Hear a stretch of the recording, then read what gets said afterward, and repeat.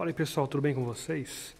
Bom, hoje vou mostrar para vocês o primeiro, a primeira customização aí que eu fiz na Vulcan.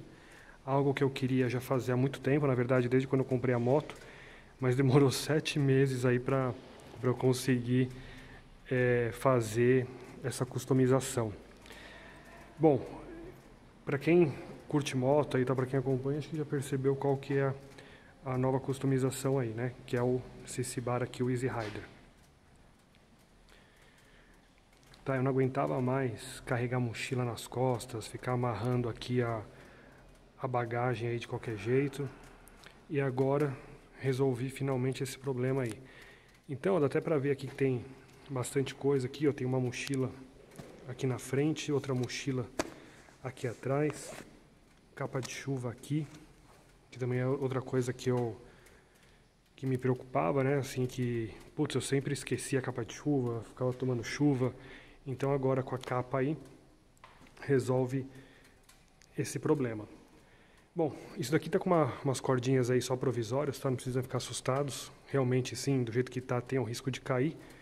Mas como é um trajeto curto, o que eu fiz então não tem aí grandes problemas. Eu vou tirar aqui as mochilas para vocês poderem ver aí como que ficou.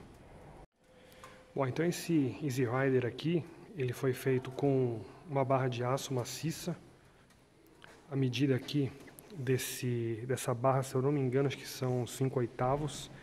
É, pintura epóxi.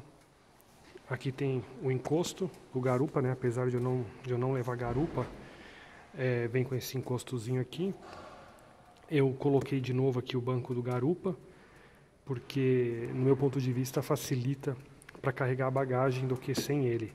Né? Sem ele fica aqui no direto no, no paralama e aí fica escorregando, ela não fica tão firme como com o, o banquinho do garupa. Bom, aqui eu fiz com o, com o Fábio da Duke Customs aqui de São Paulo. Ele tem oficina na, na Vila Maria, aqui na zona norte de São Paulo. Então, eu gostei muito né, dessa partezinha aqui, que tem aqui uma, uma grelha. Então nessa grelha aqui eu consigo manter aqui sempre fixo aí a capa de chuva, alguma outra coisa que eu queira é, deixar aí na moto que eu não precise ficar carregando. É, eu gostei bastante aí do, do CC Bar, o, o Duque ele conseguiu aí fazer exatamente do jeito que eu queria. É, eu achei que combinou muito, muito mesmo com, com a Vulcan.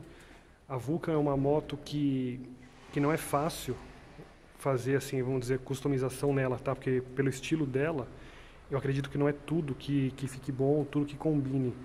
Mas esse Cibar aí ficou sensacional. Vulcan, em relação aqui, né? fica aqui esse vão. É...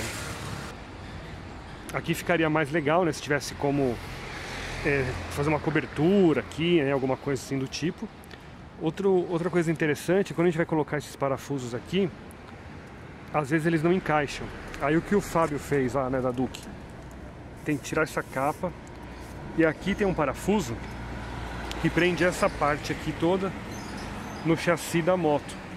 Então tem que dar uma afrouxada nesse parafuso do, do chassi da moto. Aí é, a parte interna aqui ela vai ficar meio que solta.